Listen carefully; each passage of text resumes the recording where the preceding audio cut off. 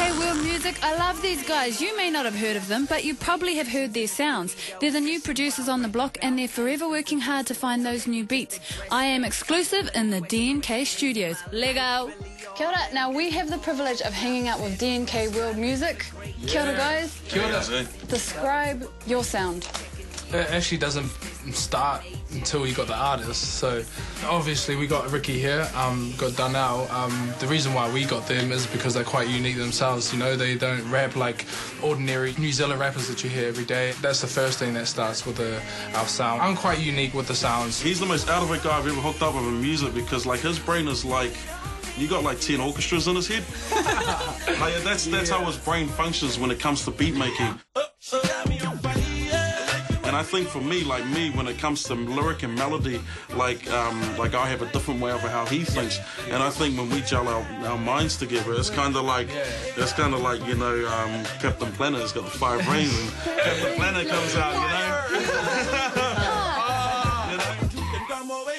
There's a serious song on here that has been in my mind ever since I listened to the CD, and I'm sure you guys too, and I know you know what I'm talking about, though.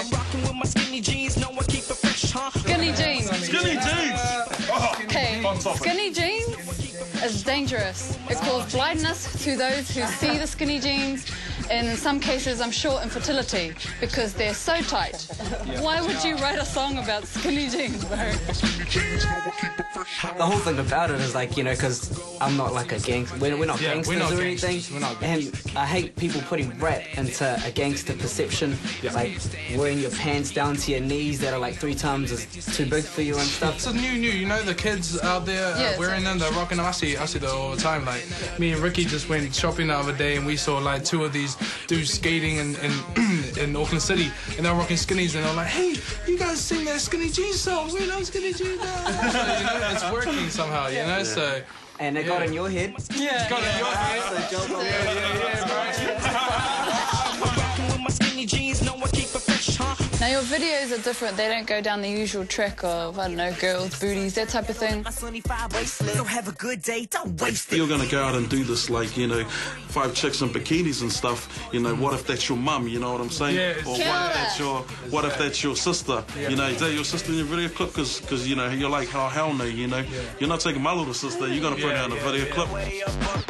If you do something that's not you, it's you're not gonna go anywhere. So Yeah. That's why we don't we stay away from the like if, if you're a gangster you, you can do it but there's no point us talking about it so we just do what we know Who are the artists that you've sort of worked with through your label or just worked with? We work with also like Peter T, which is uh, which is on the album as well. Cypress Hill, which is a cool one. Um, Jay Williams, Ron Artest, Fat Joe. Yeah, pretty much like a whole list of them. But now you're Facebook buddies and got hookups with the old bro Ron Artest. So No, Ron Artest. are you gonna? How are you gonna sort of keep that that aho warm with that guy? Big artists are always looking for those hip beats, and so it's a matter of finding those hip beats. And um and and and what you got to realize is that like hip hip music takes a lot of time. It- sometimes you can come over overnight, but you know most of the time you got to like work on it. And so at the moment, like we've got the working relationship of you know beat back and forth, music back and forth. He makes the music, and you know I do the communication. See, Well, you guys, if you haven't already got it yet, you need to get this because it's a good album. It's a really good album. You got it. What happened? Five five copy.